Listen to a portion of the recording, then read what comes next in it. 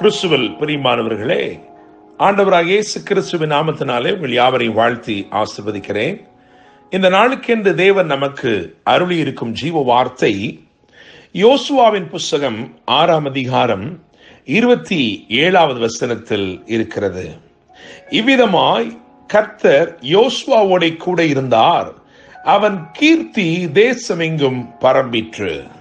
என கேட்கிற தேவனுடைய பிள்ளைகளே இந்த நாளிலே தேவன் மூன்று விதமாக யோசுவாவோடு கூட இருந்தார்.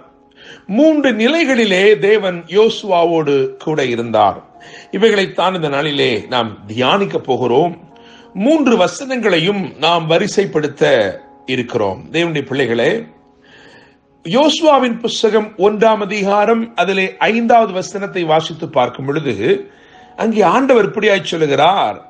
நான் மோசையோடு இருந்தது போல உன்னோடும் இருப்பேன். நான் உன்னை விட்டு விலகுவதும் இல்லை உன்னை கைவிடுவதும் இல்லை. என கேட்கிற தேவனுடைய பிள்ளைகளே அப்படி என்றால் கத்தர் மோசையோடு எவ்விதமாய் இருந்தார் என்பதின் வெளிப்பாடு நமக்கு கிடைக்க வேண்டும். மோசையோடு எப்படி இருந்தாரோ அப்படியே அவர் யோசுவாவோடும் கூட இருக்க போகிறார். ஒருவேளை மோசையோடு கூடவே இருந்த யோசுவாவுக்கு அது நன்றாய் தெரிந்த ஒரு சம்பவமாய் இருக்கும். மோசையோடு தேவன் எப்படி இருந்தார் என்பதை இளைஞனாக அல்லது வாலிபனாக மோசையை பற்றி கொண்டிருந்த யோசுவாவுக்கு நன்றாய் தெரிந்த காரியம். ஆனால் நமக்கு அது தெரியாது. எனவே வேதத்திலே சொல்லப்பட்டிருக்கிற வசனத்தின் வெளிச்சத்திலே தேவன் எவ்விதமாய் மோசையோடு இருந்தார் என்பதை நாம் தியானிக்கலாம். மூன்று விதமாக கர்த்தர் மோசையோடு இருந்ததாக வேதம் சொல்லுகிறது. அப்படியே யோசுவாவோடும் தேவன் இருந்தார். முதலாவதாக யாத்திராமம் நான்கு பனிரெண்டை பார்க்கும் பொழுது அங்கே ஆண்டவர் சொல்லுகிறார் நான் உன் வாயோட இருந்து நீ பேச வேண்டியதை உனக்கு போதிப்பேன் என்று சொல்லுகிறார். எனவே முதலாவது தேவன் மோசையுடைய வாயோடு கூட இருந்தார். அப்படியே அவர் யோசுவாவுடைய வாயோடும் கூட இருந்தார். தேவன் நம்முடைய வாயோட இருப்பது மிகவும் அவசியமான ஒரு காரியம். நாம் பேச வேண்டிய காரியத்திலே தேவனுடைய ஜீவன் வெளிப்படும்படிக்கு தேவனுடைய அதிகாரம் வெளிப்படும்படிக்கு அவர் நம்முடைய வாயோட இருந்து நாம் பேச வேண்டியதை நமக்கு போதிப்பது அவசியமாக இருக்கிறது. அப்படியாகத்தான் புதிய ஏற்பாட்டிலும் பேசுகிறவர்கள் நீங்கள் அல்ல உங்களுக்குள் இருக்கிற பரிசுத்தாவியானவரை உங்களை கொண்டு பேசுவார் என்று எழுதியிருக்கிறது. எனவே தேவன் நம்முடைய வாயோட இருந்து நமக்காக பேசுவது அல்லது நம் சார்பிலே பேசுவது மிகவும் அவசியமாயிருக்கிறது. அதற்காகத்தான் அவர் அந்நிய பாஷைகளெல்லாம் நமக்கு அருளி இருக்கிறார் இரண்டாவதாக யாத்திராமத்தின் புஸ்தகம் எட்டாம் அதிகாரம் பதினெட்டு பத்தொன்பது ஆகிய வசனங்களை வாசித்து பார்க்கும் பொழுது அங்கே மந்திரவாதிகள் சொல்லுகிறார்கள் இது மோசையுடைய விரல் அல்ல இது தேவனுடைய விரல் என்று சொல்கிறார்கள் அவர்கள் பேன்களை பிறப்பிக்கும்படிக்கு பிரயத்தனம் செய்து அவர்களால் முடியவில்லை என்று வந்தபோது அவர்கள் சொன்னார்கள் இது தேவனுடைய விரல் என்று சொல்லி. அப்படியாக மோசையுடைய விரல்களோட அவர் கூட இருந்தார். எனவே அவன் செய்கிற காரியங்கள் எல்லாம் வாய்த்தது தேவனுடைய பிள்ளைகளே.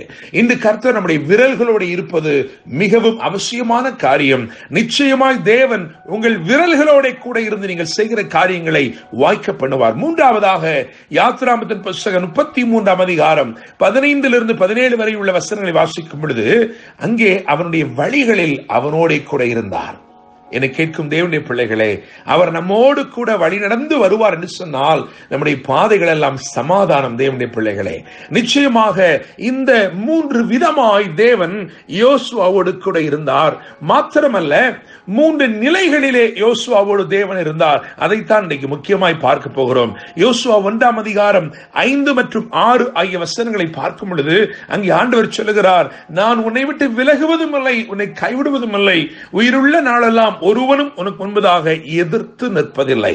ஒரு வருஷன்ல எழுதியிருக்கிறது nobody will have the will and power to compete with you உன்னோடு கூட போட்டியிடுவதற்கு கூட ஒருவரும் இருக்க மாட்டார்கள். காரணம் தேவன் உன்னோடு கூட இருக்கிறார் என்று சொன்னால் அப்படிப்பட்ட ஜெயத்தை உன் வாழ்க்கையிலே தருகிறார். இந்த முதல் பகுதியிலே அதாவது யோசுவா ஒன்று ஐந்து ஆறை வாசிக்கும் பொழுது அங்கே பங்கிட்டு கொடுக்கும் போது தேவன்.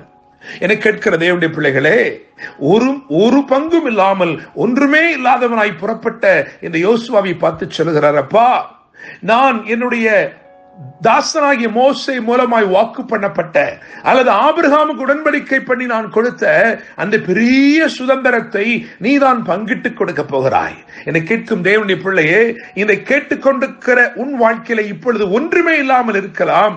ஆனால் இந்த தேவன் உன்னோடு கூட இருப்பார் என்றால் அநேகருக்கு பங்கிட்டு கொடுக்கும் பெரிய ஆசீர்வாதத்தை உன் கரத்திலே அவர் ஒப்புவித்து உன் மூலமாய் அந்த பெரிய காரியத்தை செய்யும் நாட்கள் சீக்கிரமாய் வரும் தேவனுடைய பிள்ளைகளே. எனவே பங்கிட்டு கொடுக்கும் போது தேவன் இரண்டாவதாக யோசுவாவின் புஸ்தகம் மூன்றாம் அதிகாரம் ஏழாம் வசனத்தை பார்க்கும் பொழுது அங்கேயும் இதே வார்த்தை சொல்லப்பட்டிருக்கிறது.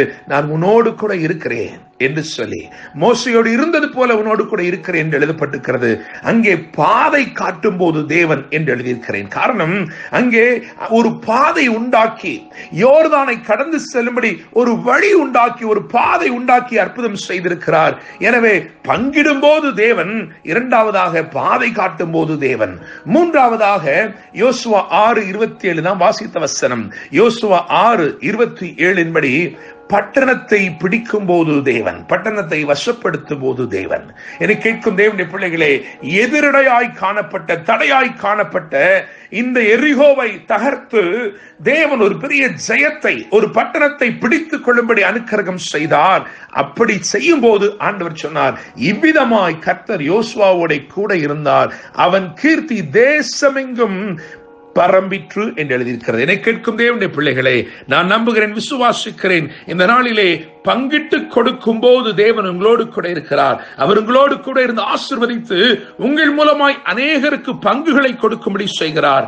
தேவன் இரண்டாவதாய் உங்களோடு கூட இருந்து உங்களுக்கு பாதை காட்டி உங்களை வழி நடத்துகிறார். மூன்றாவதாக தேவன் உங்கள் பட்சத்தில் இருந்து நீங்கள் பிடித்துக் கொள்ள வேண்டிய லாபத்தையும் பிடித்துக் கொள்ளும் படிக்கு கத்தர் உங்களுக்கு உதவி செய்கிறார். கத்ததாமே இந்த வார்த்தைகள் மூலமா இன்று உங்களை ஆசிர்வதித்து உங்கள் கீர்த்தி தேசமெங்கும் பரம்பச் செய்வாராக. என்று அன்புடன் pastor Daniel Moses God bless you